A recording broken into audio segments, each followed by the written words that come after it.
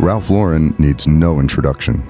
As a designer, visionary, or philanthropist, for over 50 years he's been selling the American dream through his many clothing lines, watches, fragrances, and homeware. But he also has one of the most stylish automotive collections in the world. And Robb Report recently took an exclusive tour around his private garage.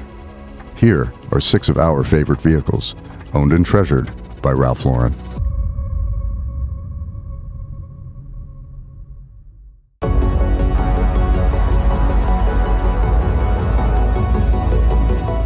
As collectors try to guess which car might be the next Ferrari 250 GTO in both value and stature, many are pointing to the groundbreaking McLaren F1, introduced in 1992.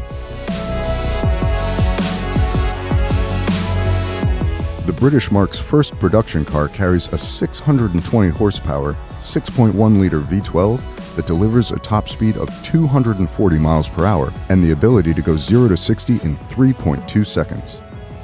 The output was so great, the engine bay had to be lined with gold to dissipate the heat. Like all of the cars in Ralph Lauren's collection, the McLaren F1 LM is a rare beast. It's a more track focused version, though still street legal, made to commemorate that year's win at Le Mans. Six examples were built, one to honor each of the five cars in the race, plus a prototype. The Sultan of Brunei ordered three. Mr. Lauren acquired his at auction in 2004.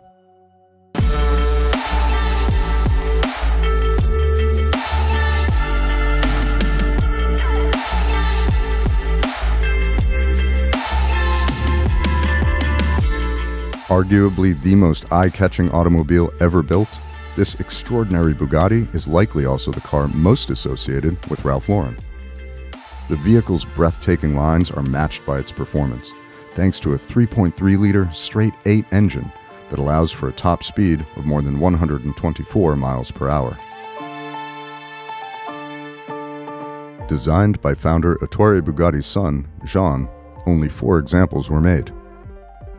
Jean's own car disappeared 85 years ago, and another has been rebuilt with a number of new components after an accident. This one, chassis number 57591, is among the two remaining in original form. And what a form it is.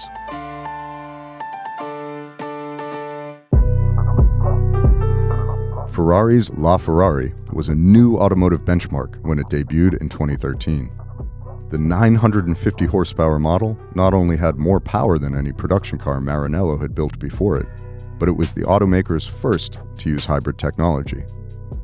Its powertrain was developed from Formula One and includes a 161 horsepower electric motor along with the 789 horses from the naturally aspirated V12, all managed by a 7 speed dual clutch transmission. That translates to hitting 60 miles per hour in 2.4 seconds on the way to a top speed of 217 miles per hour. Each of LaFerrari's 499 examples, priced around 1.5 million when new, were offered on an invite-only basis to select clients. Ferraris feature heavily in Lauren's collection, but in the sea of red prancing horses in his garage, this black on black 2015 LaFerrari stands out in every possible way.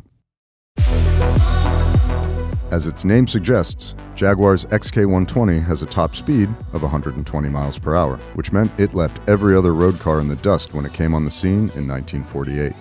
This was made possible by the car's dual overhead cam 3.4 liter straight 6, paired with a 4 speed manual gearbox that sent the Roadster from 0 to 60 miles per hour in 10 seconds.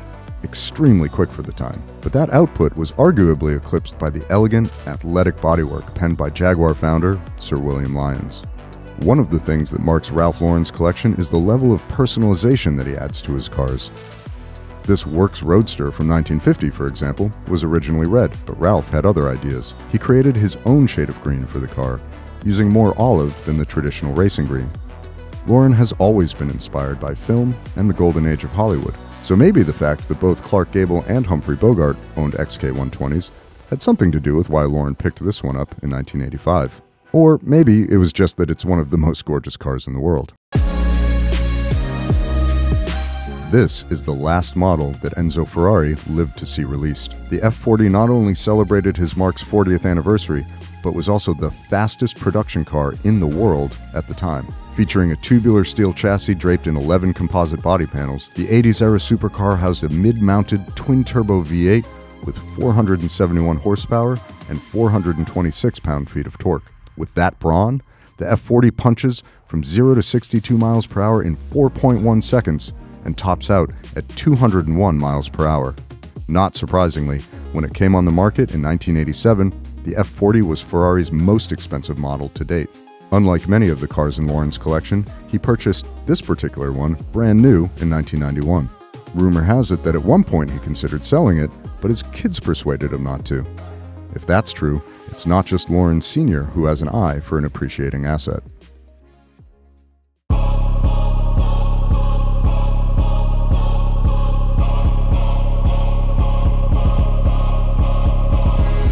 Part roadster, part Batmobile, part automotive art form. This Mercedes is a spectacular piece of engineering by Ferdinand Porsche. Yes, that Porsche, and was one of 33 manufactured from 1928 through 1932.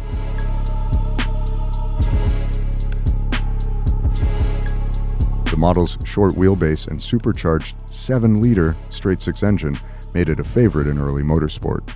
The car's sweeping Art Deco coachwork was the vision of Count Carlo Felice Trossi, a famed racer of the early 20th century who drove for the likes of Alfa Romeo under Enzo Ferrari and Mercedes Benz.